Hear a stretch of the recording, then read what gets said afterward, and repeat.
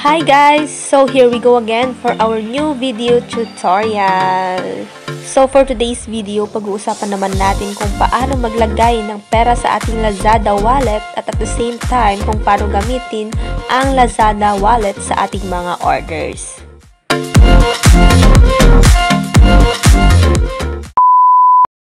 So syempre unang-una, let's open our Lazada app. Ayan. So, ganito ang itsura niya pagka-open natin ng app. So, punta lang tayo guys dito sa may account section. So, ganito. Parang profile section lang siya ng ating Lazada account.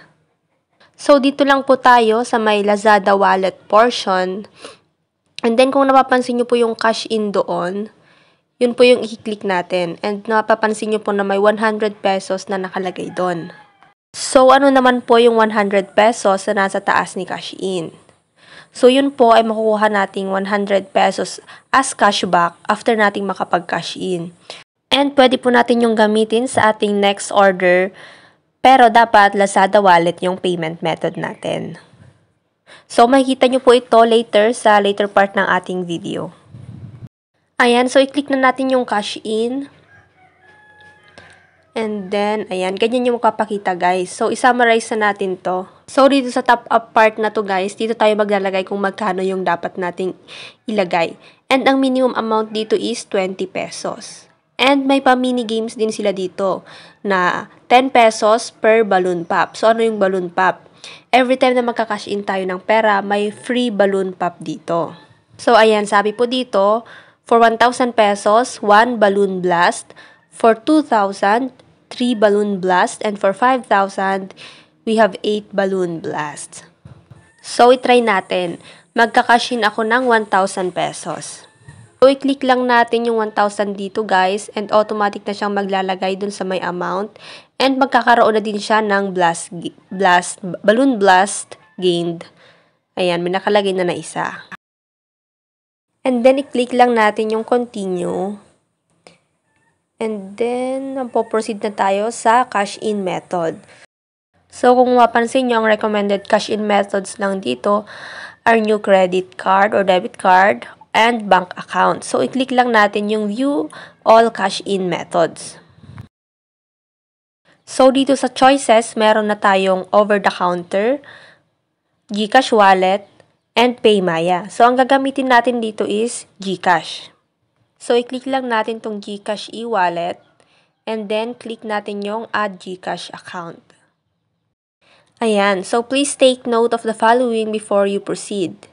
You must have an activated GCash account.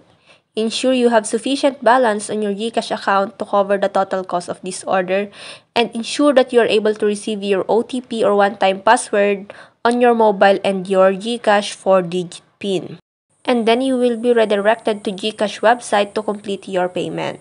So, let's just click confirm. And then, ayan, mareredirect tayo sa GCash website. So, ilagay lang natin dito guys yung ating GCash phone number. Then, i-click natin yung next. And then, may mag-text na authentication code doon sa nilagay nating phone number. So, hintayin natin. Ito sa akin. Ayan. So, ilagay natin yung 697364. And then, click lang natin yung next. And then, ilagay naman natin ngayon yung 4-digit MPIN ng GCash account natin. So, dapat alam nyo tong 4-digit MPIN nyo guys dahil hindi kayo makaka-proceed kung hindi nyo alam yung MPIN ng inyong mga GCash account. And then, i-click lang po natin yung next.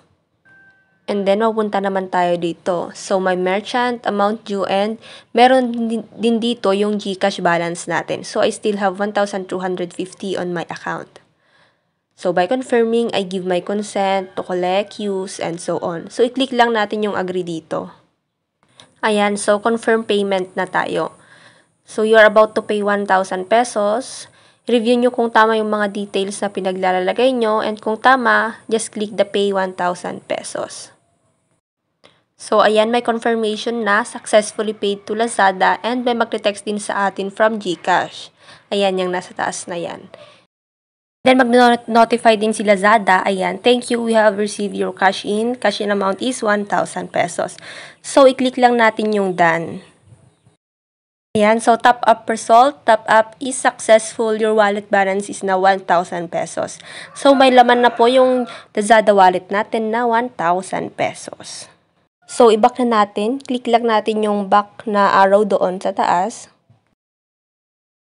So ayan, may 1,000 pesos na po ang ating Lazada wallet. Ayan, so pansin nyo dito sa may rebates, may nakalagay na na 100 pesos. So i-click natin yan may 100 pesos nang nakalagay. So, ito yung magagamit natin sa ating next order. So, check nyo dito sa my rebates. May nakalagay dito na cashback 100 pesos. So, ito yung nakuha natin. And mag-expire siya in 17 days. So, mag-expire siya sa March 23. So, kailangan natin siyang magamit within 17 days para makuha natin yung 100 cashback. Gaya nung nasa baba niya, yung 95.25. So, hindi ko siya nagamit and nag-expire siya. Sayang. So, pwede lang kasi natin itong gamitin kapag Lazada wallet yung payment method natin. So, kapag COD siya, hindi pwede, hindi pwede itong cashback na to. So, itry naman nating mag-order gamit yung Lazada wallet. Punta lang tayo sa cart ko. Ayan. Um, halimbawa, mag-order tayo nito mag-add to cart na lang pala tayo. Ayan, so, tatlo yung bibilin ko dito. 2, 3. And then, try natin. Ayan, so, bali may free pala siyang repairing conditioner. So, total of 972 yung babayaran natin with a shipping fee of 8.5 pesos.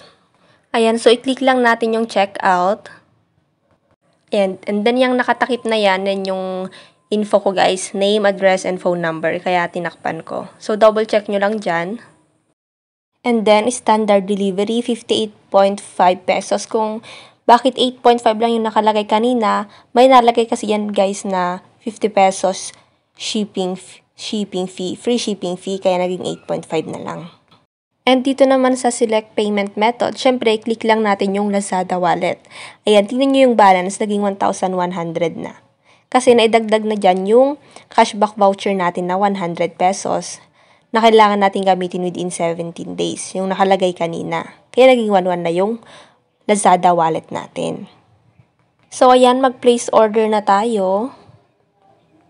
Ayan, payment success, 979.5. Tapos may nakalagay dito na 97.08 cashback is on the way. So, ano yun? So, i-click po natin yung view.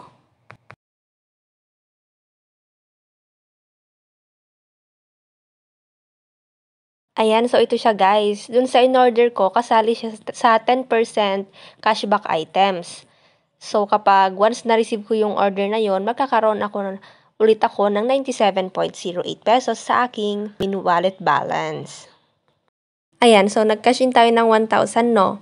Ngayon, nag-order tayo ng, ng 970 plus. Ngayon, may natira pa na 120.5 pesos. So, dahil yan sa sa cashback na nakuha natin kanina, which is 100 pesos. So, akalain mo yun, ang laki ng matitipid mo kapag gumamit ka ng Lazada wallet.